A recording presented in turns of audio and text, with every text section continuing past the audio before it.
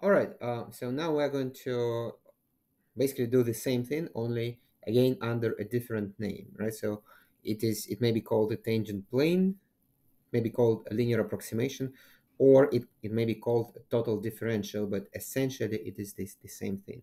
And so what, what's the, this total differential, right? So the idea is that if we want to estimate the change in uh, our function f from the point AB to the point um, xy, right? So in, in this case, x is a plus delta x and y is b plus delta y. Okay, so uh, basically if for this f of xy we substitute its linear approximation, then we get what is called the total differential. Okay, so here is our linear approximation. Uh, well, in the 1D case, we are going to have this equation that should be familiar to you from uh, the previous semester, right? So delta f is approximately equal to f prime of a times delta x.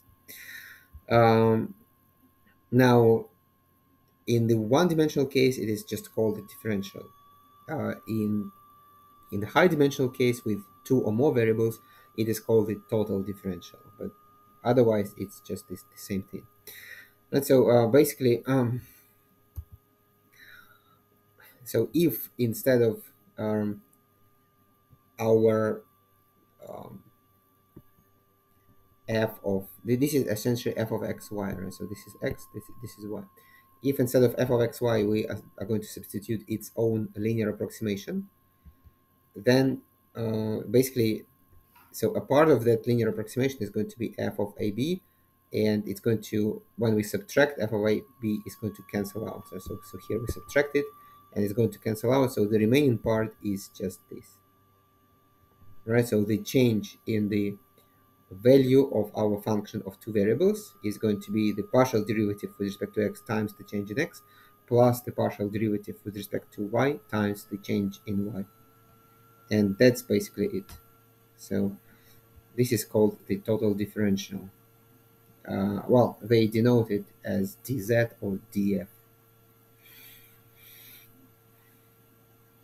okay so the the thing about it is that the the total differential is the this expression this exact expression. And the idea is that it approximately is equal to the change in the dependent variable. Okay? So but that's basically okay so that's the total differential or just, just the differential of a function of two variables. Right so it is this expression again. And the idea here is that it approximately equal to the change in f all right so i, I hope it makes sense. Um, so let me just just do some some, some examples of this. All right. Okay um now differential uh, differential I, I, used to estimate error so so we're going to, to look at, at such an example but before we do uh, so let, let me go through some um, um, some kind of more specific numeric example first. So something like linear approximation right so here we have um, an explicitly uh, given function. So and we know that x changes from 2 to uh, 2.05 right? So what does mean? So right so it means that um, our x is really 2.05 our a is 2 and our delta x is 0.05 okay now y changes from 3 to 2.96 so it means that our y is 2.96 our b is 3 and the change in y is negative now because now y is decreasing. It's going to be minus 0 0.04 all right um, so how can we estimate uh, the change using the total differential? So the total differential so df is f differentiated with respect to x times delta x plus f differentiated with respect to y times delta y. So th this is the general formula. So in, in our case, fx is, so the derivative of f with respect to x is 3x plus, uh, sorry, 2x, of course, yeah. Sorry. Sorry, oops. Yeah, 2, 2x, 2x, uh, plus 3y. Um, okay, so this is fx times delta x plus fy. fy is, when we differentiate with respect to y, um, we'll get 3x minus 2y times delta y. Okay, so this is our total differential. Okay, so now we just need to substitute the actual value. So the but remember that what we substitute in as x and y is not just x and y is is is really a and b, right? So a and b go in rather than x and y. Okay, so eh, a little bit counterintuitive, right? So because the idea is that we want to substitute um, whole numbers rather than um, approximated numbers. Okay, so 2, so now it means that our x is, is really 2 and y is 3. And same thing here, so this is really 2 and this is really 3. Okay, so 2 times 2 is 4, plus 3 times 3, 9, so 4 plus 9 is 13. Times delta x is 0 0.05 plus uh, 3 times 2 is 6 minus 2 okay so this is just 0 times whatever it doesn't even matter but let me let me just try it. what the delta y is really minus 0 0.04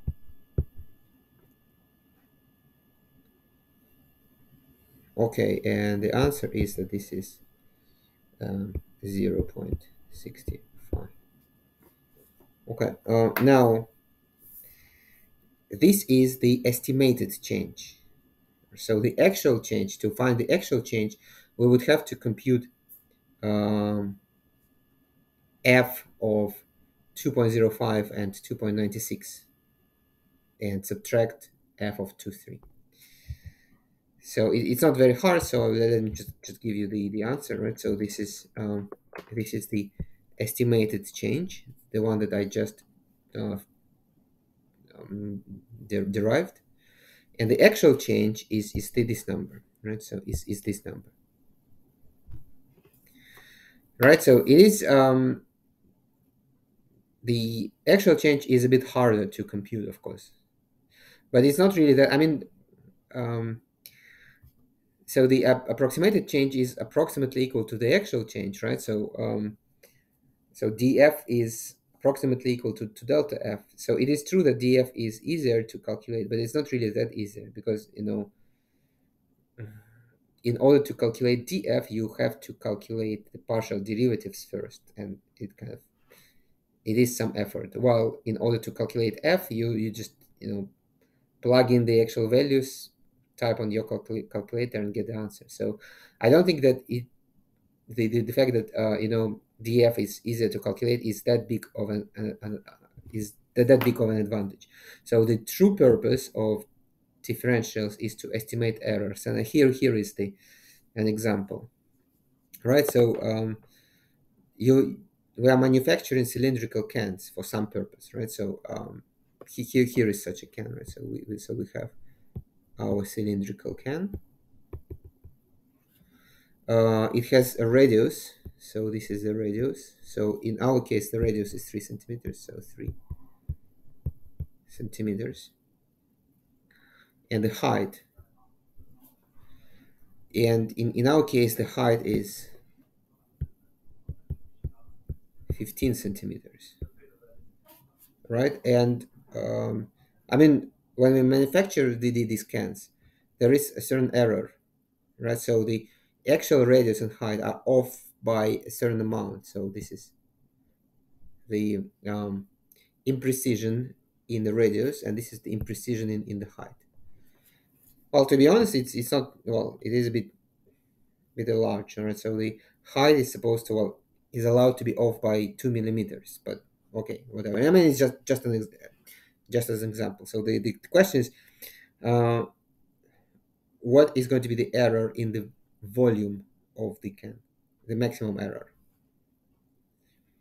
And notice that here we can't really compute the uh, the uh, change in the volume of the can because we don't know the actual uh,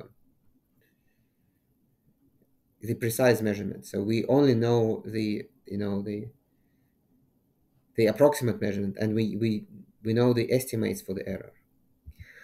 Okay, but the idea is is, is, is still the same, right? So the um, what we have here um, is we know that the volume of our cylindrical can is pi r square h, right? Okay, um, so yeah, and we do know that r at the given point. I mean, so if if we think as uh, you know r and h as a plus delta r and b plus delta h. I mean, only instead of x and y, I'm, I'm going to use r and h. So then the, this a is going to be, um, is given to be 3 centimeters. Uh, b is going to be 15 centimeters, right? Uh, delta r, so th this is the change in the radius, so this is the error of, of the radius, is 0 0.04, 0 0.04 and h delta h is, is given to be uh, 0 0.2 right? So what is the resulting kind of estimated change in the volume? So we can write the total differential so d dv. So it's going to be uh, the derivative with respect to r times delta r plus the derivative with respect to h times delta h. Um, the derivative with respect to r is going to be is what is 2 pi r h times delta r plus the derivative of v with, with respect to h is pi r squared times delta h okay so i guess we can factor out pi for a while so pi times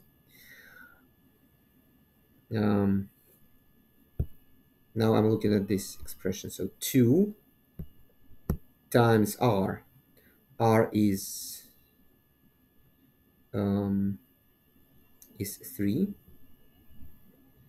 times h. a is h is 15 and times delta delta r and delta r is 0 0.04 plus okay pi r squared so r so pi I factored out, r is 3, so it is 3 squared is 9 times delta h is 0 0.2. Well, basically that, that's it. Um, I guess we could compute it. So, I mean, if you want to simplify it without a calculator, so here is how you can do it. 3.15 is uh, 45 times 2 is 90. So this is 90 times 0 0.04 plus 9 times 0, 2. Uh, okay, so pi is still here. So I guess we can remove two zeros. So this is 9 times 0, 4 plus 9 times times 0 0.2. So which is, I guess we can take out 9, is 9 pi times 0 0.6, which is really what 5.4 pi. Well, and notice that we are measuring the error in the volume. So the error in the volume should be measured in cubic centimeters. So this is the answer. Um, 5.4 pi. I guess you could just try 5.4 times pi. So 16.97. So I guess approximately 17 cubic centimeters. So, so what, what is important here is that uh, we can't, I mean, we, if according to your manufacturing process, you know that your the, the height is maybe off by a certain amount, by two millimeters, and the radius can be off by again a certain amount. So you, you know that in, in this case, the volume of the can may be off by 17 cubic centimeters. Right, and so I've just done it. So and here is the solution, you know, the, the, the solution typed out for you. So you can re refer to it later. Okay, and uh, that was for two variables. For three variables, the situation is exactly the same. Uh, no change. It's just that uh, the total differential for three variables, it looks like this. So there is the derivative with respect to x times the change in x, plus the derivative with respect to y times the change in y, plus the partial derivative with respect to z times the change in z. Okay, same thing for an n variable function, and that's it about the total differential.